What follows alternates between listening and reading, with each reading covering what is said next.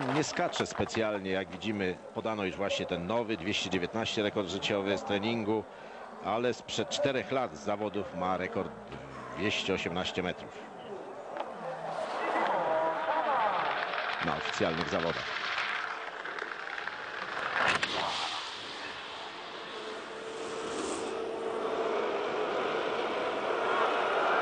No i tu się Simi odnalazł.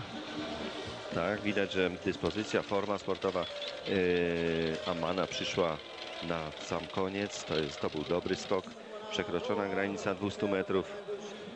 O, wysoko to zawodnicy bardzo lubią. Oni tutaj po to Ekscytacja. przyjeżdżają. Tak, to jest na granicy, to jest radość na granicy euforii. I sam bym się tak chciał przelecieć. Proszę. Jakieś narty się znajdą. 205,5 metrów.